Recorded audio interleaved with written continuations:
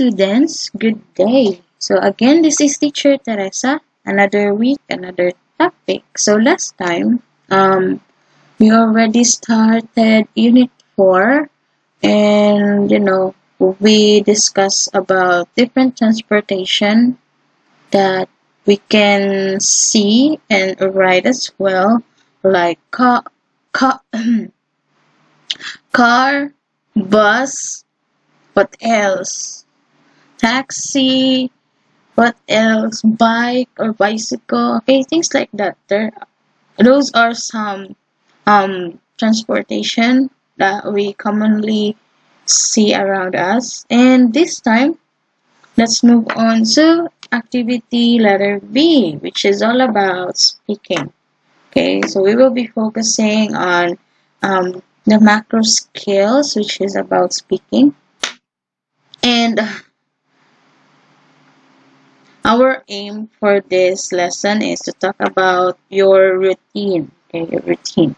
Now, everybody, if you have your book, kindly get that book and also pen because we're going to use that one today. And let's have some vocabulary activity here first. All you need to do is you need to listen and number. Okay, so you need to listen and write numbers 1 to 10 within the circles. Okay, so if you're ready, let's start. Sorry. Track 4-3. Number 1. Go to sleep. Go to bed. Go to sleep. Go to bed. Number 2. Brush my teeth. Brush my teeth.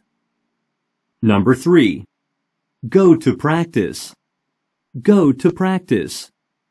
Number 4. Do my homework. Do my homework. Number 5. Play a game. Play a game. Number 6. Get dressed. Get dressed. Number 7. Wake up. Wake up. Number 8. Clean my room. Clean my room. Number 9. Make my bed. Make my bed. Number 10. Pack my bag. Pack my bag. Alright, so I hope you listen carefully to that one and let's answer or let's try to answer this one, okay? So, number one is here, go to sleep, go to bed. Okay, next, number two, brush my teeth. Again, brush my teeth. Next, go to practice. Okay, number four, do my homework. Next, number five, play a game. Next, number six, get dressed. Number seven, wake up. Eight, clean my room. Nine, make my bed. And number 10, pack my bag. Okay, so please take note of the answers. And for you to able to understand these words or these phrases, I also translate them into Thai. Okay, for you to understand them better. Okay, so let's start with wake up. With the word wake up. Wake up pewalai. Okay, so this is the meaning in Thai. Please write it down as well or take note of that. Next, get dressed. This is the meaning in Thai. 9. Make my bed. This is the meaning in Thai. Next, go to practice. This is the meaning in Thai. I don't know how to read these words because I can't read um, Thai characters. So, you know, if you know how to read it, you just need to practice it or you need to read them out. Next, uh, play a game. This is the meaning in Thai. Go to sleep or go to bed. Next, uh, brush my teeth. This is the meaning in Thai. Uh, next is pack my bag. This is the meaning in Thai. Do my homework. Okay, and the last one, clean my room. This is the meaning in Thai. So please write all of these in your book or in your notebook, students. And if you're finished, let's answer exercise number two. So exercise number two, it says here, listen and write the vocabulary word you hear. Okay, so I will play the audio here and you need to write the word or phrases that you can hear on the audio. You can just, you know, look for the word or phrases here in um, exercise number one. So if you're ready, let's start. Track 4-4. Number 1. What time did you wake up? At 7. Number 2. This place is so messy. I'm sorry. I'll clean my room. Number 3. No television until you do your homework. Okay, Mom. I'll do my homework now. Number 4. What do you want to do? I want to play a game. Number 5. Are you done eating? Yes, I will brush my teeth now. Number 6. It's 11 o'clock. I'm sorry, Dad. I'll go to bed now. Alright, so I hope you listen carefully to that one. And let's try to answer this. Okay, so the first word or the first phrase is wake up. Okay, next number two, clean my room. Number three, do my homework. Four, play a game. Five, brush my teeth. And number six, go to bed. Okay, so please take note of the answer, students. So if you're finished writing, let's move on to another exercise here. So in this time, in exercise number three, it uh, we were going to focus on expressions telling the time. Okay, so it says here, listen and write the time in each blank. So we have six blanks here. And all we need to do is we need to listen first and you need to write the answers on each blank. Okay? So I believe that you can do that, students. And if you're ready, let's listen. Track 4-5. Number 1. 3 o'clock. Number 2. 5.20. Number 3. Quarter past 6. Number 4. Quarter to 9. Number 5. Half past 4. Number 6. Quarter to 7. Alright, so obviously you can see some words here like quarter to, quarter past, and half past. Okay, so let's answer first, or let's try to answer first um, this one. So number one is 3 o'clock. Two is 5.20. Next, quarter past 6. Next, quarter to 9. Next, half past 4. And number 6, quarters to 7. Alright, so teacher, I don't know what is the meaning of these words or phrases.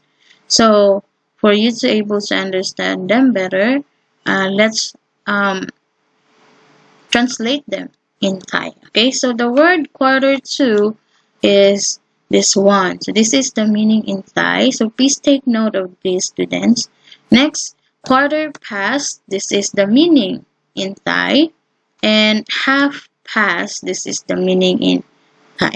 Okay, so please take note of that. You can write it on your book or notebook. And let's move on and you know answer more exercises about telling time here. Okay, so you need to uh, observe the short and long hand in the clock. And we're going to use the expressions here. Like example, number this one, the first clock here. How do you use the expressions here in, in this um, in, in this clock reading or telling time? So example, half past 8 because obviously the long hand is already in here. So instead of saying 8.30, you'll just say half past 8. Okay, next, another one. Okay, you observe the short and long hand. So the short hand is pointing at 8 and the long hand is pointing at 9.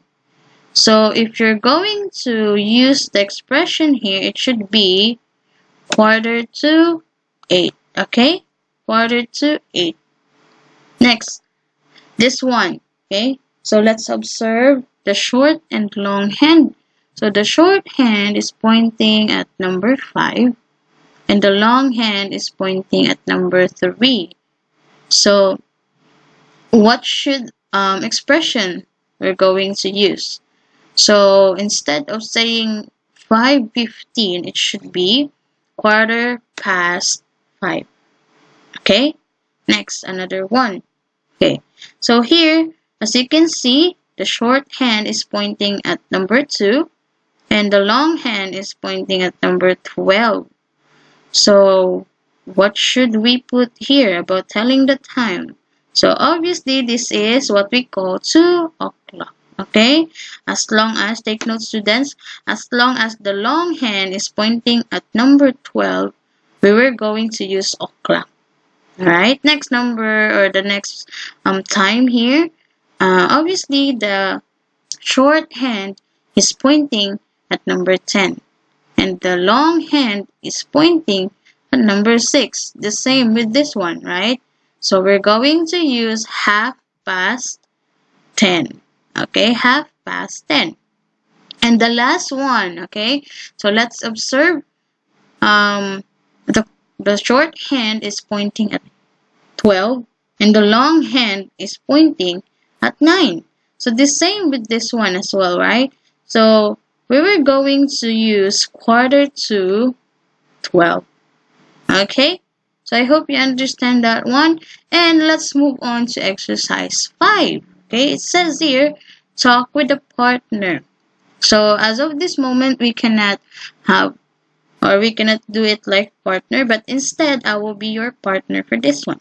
Okay, so you're going to answer my question. So these are the questions and this is the answer. Okay, so I'm going to read this part and you're going to read this part. Can you do that one? Okay, so let's start. What time do you wake up?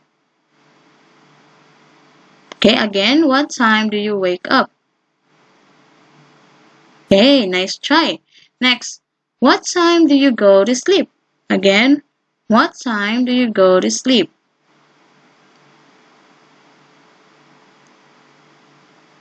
Okay, nice job. Next, let's move on to another slide. So this time, um, we're going to listen and match the activity with the time. So these are uh, those, um, sorry, we have some pictures here. So picture number one, um, obviously, the two people or person here is at the airport. Okay, so they are in the airport. Number two, or picture number two, a child is playing football. Next, picture number three, um, a student is in a li in the library. And picture number four, a girl is on the bus top.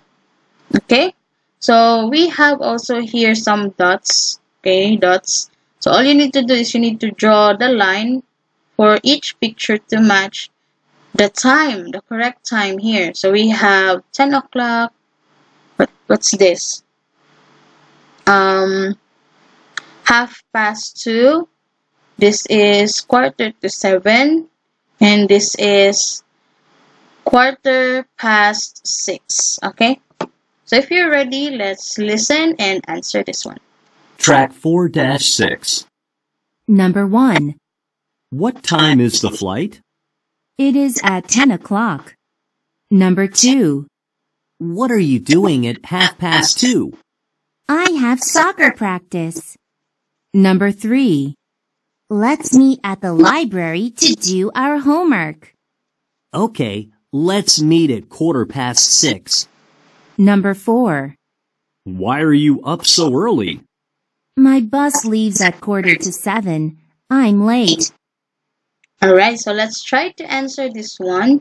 So the first picture is you need to connect that one in this one, 10 o'clock. Okay.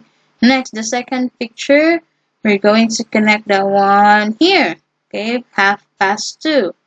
Next, the third picture will be here. Okay. Uh, 6, quarter past 6. Okay, quarter past 6. And the last one is here, this one. Okay, quarter to 7. So this is 10 o'clock half past 2, quarter to 7, and quarter past 6. Okay, so take note of the answer, student. And yeah, so this time we're going to fill in Sarah's routine, or this is a timetable. So Sarah's routine and Eric's routine. So it says here, listen and complete the schedule. Okay, so you're going to write the activity according to the time.